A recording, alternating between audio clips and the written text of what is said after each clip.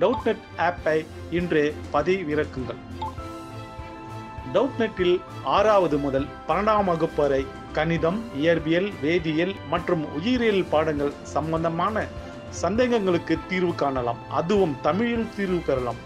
உங்கள் கேள்வியை புகைப்படம் மட்டும் எடுங்கள். அதனை கிராப் செய்யுங்கள். உடனடியாக அதற்கான வீடியோ தீர்வை பெற்றிடுங்கள். டவுட்நெட் தமிழ் யூடியூப் சேனலை சப்ஸ்கிரைப் செய்து இது போன்ற பல வீடியோக்களை கண்டு மகிழுங்கள். Friends so the question is कि हमें हाफ़ लाइफ रिएक्शन की क्या होती है, वो पूछा गया है और पूछा गया कि फ़र्स्ट ऑर्डर के लिए ये हमें प्रूव करना है कि हाफ़ लाइफ जो होती है, वो इंडिपेंडेंट होती है इनिशियल कंसंट्रेशन के। तो देखो जो हाफ़ लाइफ का मतलब क्या होता है, पहले हम ये समझते हैं। हाफ़ लाइफ का मतलब होता है, हम इसको कैसे डिनोट करते हैं? टी हाफ़ से डिनोट कर देते हैं।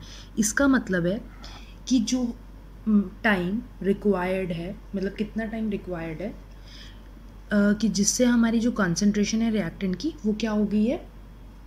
हाफ़ चलेगी मतलब कि वो हाफ़ कंज्यूम होके हाफ़ क्या हो गया? फॉर्म हो गया, ठीक है? मतलब हमारी इनिशियल कंसंट्रेशन है ए नॉट ये वाली जो कंसंट्रेशन है ए नॉट ये क्या हो गई? हाफ़ हो गई। तो मतलब एक ऐसा टाइम आएगा, कोई टी टाइम आया, ठीक है? Uh, मतलब उसको हम टी हाफ़ से डिनोट कर दिया T time T half time हो गया। जहाँ पे जो हमारी कंसंट्रेशन है वो क्या किसकी इक्वल हो जाएगी? Half of A not initial से हाफ़ की। हाफ़ जो है हमारा इनिशियल कंसंट्रेशन वो क्या हो गई? डिसअपियर uh, हो गई और वो उसने हाफ़ प्रोडक्ट फॉर्म कर दिया। ठीक है? मतलब फिफ्टी परसेंट वो क्या हो गई? कन्वर्ट हो गई प्रोडक्ट के अंदर। इसको हम ये भी लिख सकते हैं फिफ्टी परसेंट कन्वर्ट हो गई वो प्रोडक्ट के अंदर। तो ये हमारी क्या होती है? हाफ़ लाइफ होती है कि मतलब कितना टाइम रिक्वायर है रिएक्टेंट कंसंट्रेशन को कि वो क्या हो जाए? इनिशियल वैल्यू से हाफ़ चली जाए। तो ये तो हमारी हाफ़ लाइफ हो गई। अब हमें उन्होंने पूछा कि प्रूव करो कि फ़र्स्ट ऑर्डर रिएक्शन के अंदर हाफ़ लाइफ इंडिपेंडेंट होती है इनिशियल कंसंट्रेशन के के अंदर। तो देखो हमारा जो फ़र्स्ट ऑर्डर रिएक्शन होती है फ़र्स्ट ऑर्डर रिएक्शन के अंदर हमारे पास जो जनरल फॉर्मूला होता है हमारा, वो होता है K is equals to two point three zero three log of A not by A by T ठीक है, ये हमारा जनरल फार्मूला होता है। अब हमें बोला गया कि टी हाफ़ कैलकुलेट करना है हमें, है ना? तो हम क्या करेंगे, इसको इधर ले जाएँगे और हम इसको टी हाफ़ से डिनोट कर देंगे। Two point three zero three by K log of A not by A अब हमने टी हाफ़ लिख दिया तो हमारी ये वाली कंसंट्रेशन क्या हो जाएगी? क्या हो जाएगी ये वाली?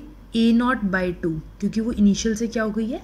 हाफ़ हो गई है कंसंट्रेशन तो इसको हम ये लिख सकते हैं two point three zero three by K log of A not by A not upon two इसको मैं यहाँ पे मल्टीप्लाई कर देती हूँ। तो देखो ये आपस में कैंसिल हो गया तो टी हाफ़ क्या हो जाएगा?